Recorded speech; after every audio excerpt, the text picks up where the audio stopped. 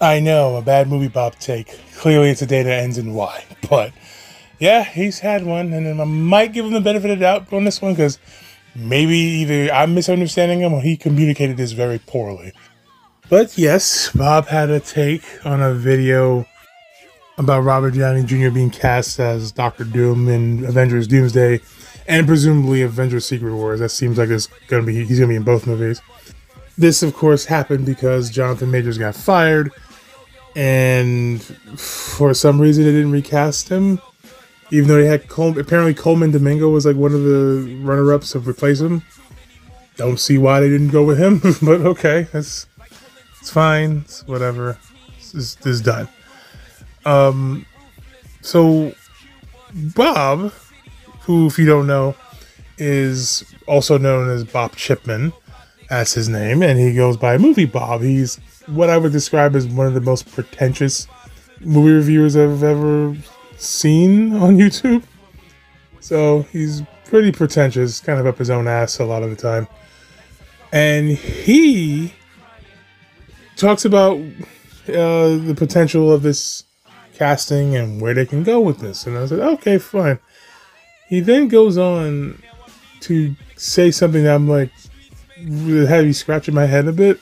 On the other hand, I have really stopped giving a shit about the MCU having to line up with classic comic canon because the classic comic canon will always be there. I already got those stories. I would much rather see interesting filmmakers and screenwriters, or even uninteresting filmmakers and screenwriters, take a shot on something new uh, with these basically bulletproof box office uh, things, just on the chance that they do something interesting with it. And thematically, a version of the good guy who saved the world the last time being the villain of the next big saga from another universe is kind of cool.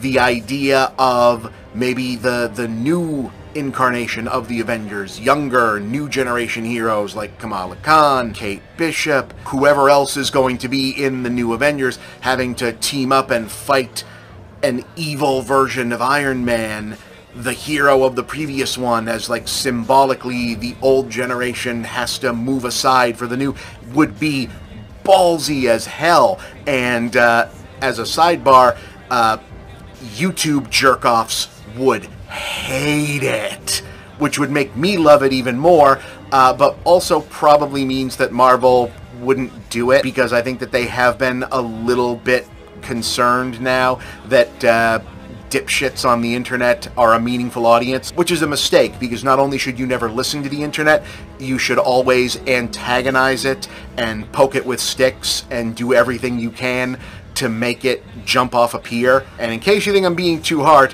one of the first big voices in quote unquote pop culture that jumped up uh, to say that this, uh, you know, Robert Downey Jr. playing uh, Doctor Doom was just one of the worst things they ever seen.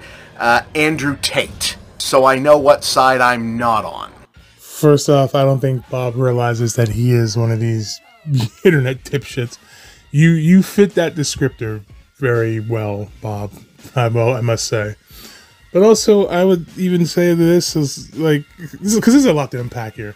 I would just say, like, first of all, stop worrying. If you're going to say, not only should you ignore the internet, okay, fine, leave it there. I don't think you should ignore criticism entirely or just at all in, in any way. Take take all the criticism, even if it's bad. Point out which ones you think actually make sense, and then go from there, right? But then he says antagonize. Uh, no, look, this isn't.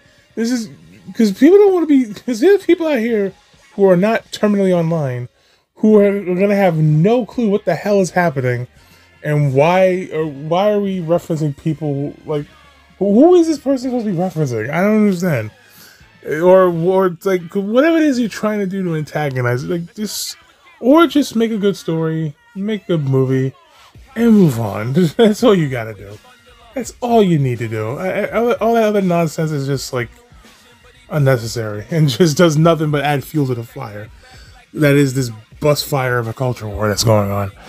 And I mean, yeah, he likes it, but he also seems to like it out of spite too. And I don't, I never understand people like that who like and dislike things out of spite. You know, well, they like it. I hate it. well, they hate it. I love it now. like, just stop. That is so fucking childish. Speaking of, did you not criticize this type of behavior where people like or dislike something out of spite? I'm pretty sure you did, and it was in a video that had nothing to do with even Marvel. It was a Mario video. So I'm not surprised Princess Peach saving herself pissed off fake outrage YouTube before it didn't. That's kind of their brand. But they shouldn't have been surprised that it was there in the first place because that's just normal movie plotting now. It has been for decades. It's ordinary. Anyone who isn't a total dipshit should have known it was coming the minute they announced the movie the same way you knew Jack Black would do a song and it would be the highlight of the movie. But they didn't see it coming because they're fucking stupid, so now they all get to look stupid with their pre-release we hate this already because woman doing things takes all still on line right next to their post release, oh, this is a huge hit and a chance to make a fake feud with real critics. Well, we love it takes forever and ever because at the end of the day, these are people who are just bad at watching movies and analyzing media. This is why we used to call the right wing culture war political archetype reactionary because they can only react to things, to the world, to events, to ideas, to other people's politics, not having anything truly solid or coherent of their own to say. They're incapable of actually looking at something and coming up with something to say about it of their own. All they can do is wait for people or groups or stuff stuff that they hate to tell them what something is about so that they can say, no, I'm against that. For whatever reason, you're for that. I don't know what they have to say. It makes no difference anyway, whatever it is. I'm against it. No matter what it is or who commenced it, I'm against it.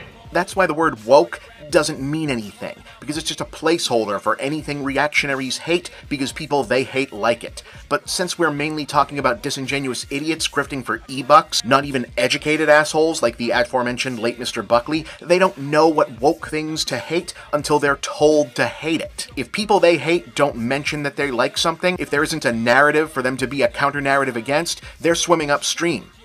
Now, granted, he's not entirely wrong because people have did switch up on Mario pretty quickly. I do remember the whole this movie is woke thing, and then it went to him, oh, critics hate it. Well, fuck you, I love it now. Disney is fucked. it's like, like yeah, sure, man, whatever. and the, also the Andrew Tate connection makes no fucking sense either. Is like, see, Andrew Tate hates you, so I know what side I'm on. Like, I'm on the side of I don't particularly care for casting or don't like the casting personally. I think they should have maybe got some other actor for it and gave another person a chance at it. Um, this is assuming they're not doing Tony Stark as Doctor Doom. They're just doing, they're making him Victor Von Doom, an entirely different person, separate from Tony Stark. And, and the first time we even see his face, he's going to be all scarred up and messed up.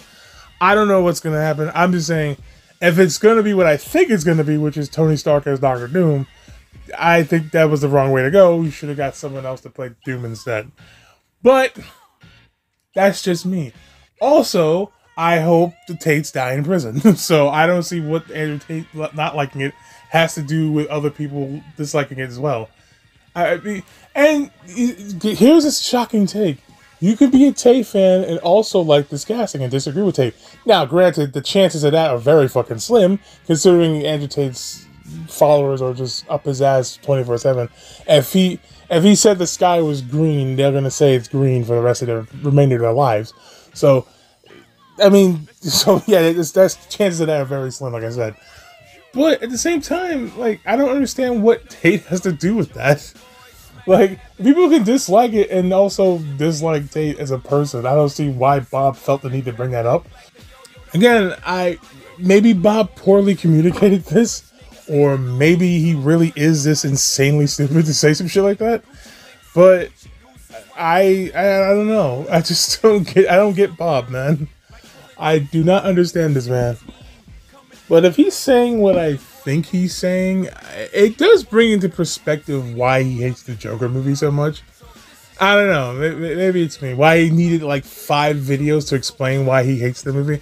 Not even adding anything more to what he said, just trying to reiterate the same points and just desperately trying to convince everyone it's the worst thing ever. But it's like, uh, Bob, what? Why are you adamant that this is the worst movie of the year for some fucking reason? But that hearing this and hearing maybe I'm again maybe I'm misinterpreting what he's saying, but it sounds like he's like he's he's, he's likes and dislikes movies out of spite, from what I can tell. And me personally, I'm like, listen, man, like the movie or you don't, but if you like it out of spite for people because of woke or anti woke, it's stupid. Just like the movie. This is why I don't trust a lot of movie critics anymore. I'm just like, like the self-proclaimed ones, the ones that are like up their own asses, the movie Bobs of the world, or the or the, the Jeff Zangs of the world, or the fucking the Patrick Willems of the world. I don't, I don't trust these people. I'm like, some of you are just not very honest, or don't seem very honest about your takes on these things. But uh, I don't know. It's the whole the whole fucking. it used to be you can like or dislike a movie or show, and that's fine. Now you can dislike the acolyte and have these fucking psychos want to stick a lance up your ass and put you on display for all to see. I I don't get it. fucking, I, it's, it's mostly social media, I guess. That's probably part of it. Po- politics is definitely part of it. a lot of people let politics drive their every uh every move. So, I, so I wouldn't doubt that Bob is doing this as well, letting politics drive his decision to like or dislike movies. He claims he doesn't doesn't do that, but it's like I don't know. Some some tells me you're not being very honest about that. But you know, and to be fair, Bob did give a, a, pretty big explanation as to why he likes the Doom casting, but I'm not gonna like or dislike anything because the internet hates it. That's just stupid. I'm not gonna. I'm not gonna do that. He said he would like it even more if that were the case, but my like or dislike levels don't go down because people like Movie Bob hates hates a thing. Okay. I mean, he, he, I believe he shit all over the crow. I'm not gonna say, well, I'm a lot. I like the crow now. No, I, I do not like the fucking crow.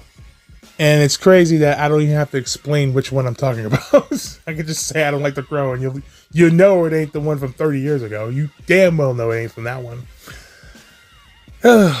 yeah, so another day, another bad movie pop take. what else is new?